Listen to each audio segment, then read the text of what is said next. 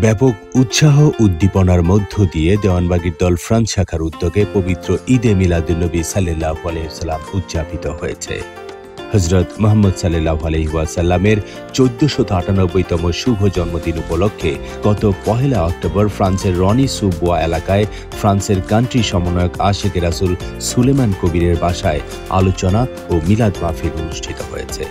মিলাদ শরীফ পাঠ ও মোনাজাত শেষে অতিথিদের নিয়ে কেক কাটা হয় এবং সবার মাঝে মিষ্টি, চকলেট, ফলমূল, কেক ও বিরিয়ানি বিতরণ করা হয়।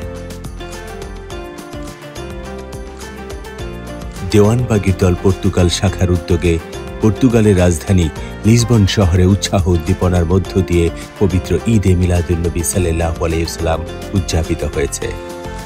গত উনত্রিশে সেপ্টেম্বর পর্তুগালের রাজধানী লিসবন শহরে আশিকে রাসুল মিলাদ মাহফিল অনুষ্ঠিত হয়। হজরত মোহাম্মদ সাল্লাহ আলাইসাল্লামের চোদ্দশত আটানব্বইতম শুভ জন্মদিন অনুষ্ঠানে পর্তুগালের বিভিন্ন শহর থেকে আশেকে রাসুলগণ একত্রিত হন। বক্তাগণ হজরত রসুল সাল্লাহ আলাইসাল্লামের জীবনী মুবারক নিয়ে আলোচনা করেন এবং মোহাম্মদ ইসলামের মূল শিক্ষা ও সুফি সম্রাট হজরত দেওয়ানবাগী রহমাতুল্লা আলাহের সংস্কারগুলোর পাশাপাশি মোহাম্মদ ইসলামের নেতৃত্ব প্রদানকারী মহামানবের উদ্যোগে বিশ্বময় মোহাম্মদ ইসলামের প্রচার ও প্রসারের কার্যক্রম তুলে ধরেন। অনুষ্ঠানে প্রবাসী বাংলাদেশি সহ বিভিন্ন দেশের অতিথিবৃন্দ উপস্থিত ছিলেন।